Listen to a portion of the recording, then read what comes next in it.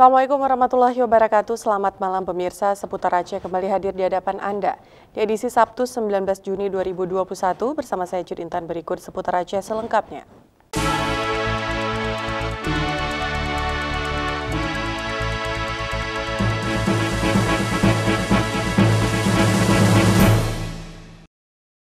Menteri Koperasi dan UKM Republik Indonesia melepas sebanyak 6 kontainer kopi Arabica Gayo yang akan diekspor ke Amerika dan Eropa di Aceh Tengah melalui Pelabuhan Medan, Sumatera Utara.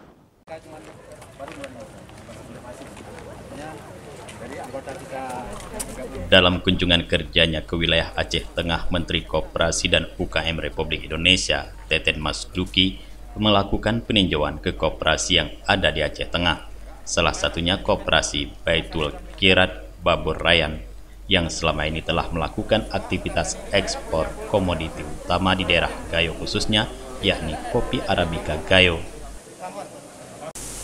Menteri Koperasi dan UKM meninjau langsung ke gudang koperasi untuk melihat langsung proses yang dilakukan untuk komoditi kopi Arabica.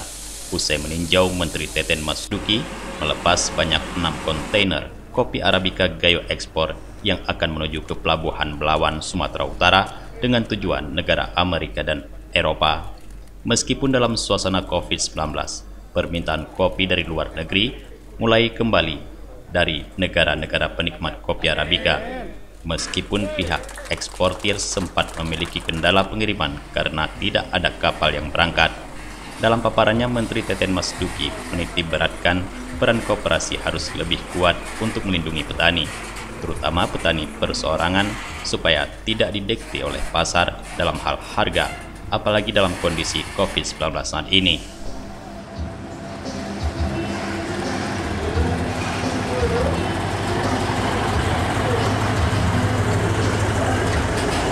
Nah, tadi saya uh, menyampaikan bahwa pentingnya uh, supaya kesejahteraan petani kopi di Aceh terus membaik, ke, uh, kelembagaan kopi ini yang kita harus uh, sempurnakan. Uh, selain kooperasi, uh, lembaga pembiayaan, termasuk juga resi gudangnya kita uh, rapikan, supaya nanti betul-betul uh, hulu hilir dari uh, kegiatan ekonomi uh, di kopi ini betul-betul uh, bisa dinikmati oleh para petani. Untuk koperasi Baitul Kirat Babur Rayan sendiri, biasanya sebelum pandemi COVID-19 melakukan ekspor kopi sekitar 1.000 hingga 1.500 ton per tahun dengan nilai uang sebesar 95 miliar dan di saat pandemi tahun 2020 kemarin hanya 350 ton dengan nilai uang sebesar 35 miliar. Untuk tahun ini baru sebanyak 57 ton dengan nilai uang 4 miliar rupiah. Dari Aceh Tengah, Tim Liputan Aceh TV melaporkan.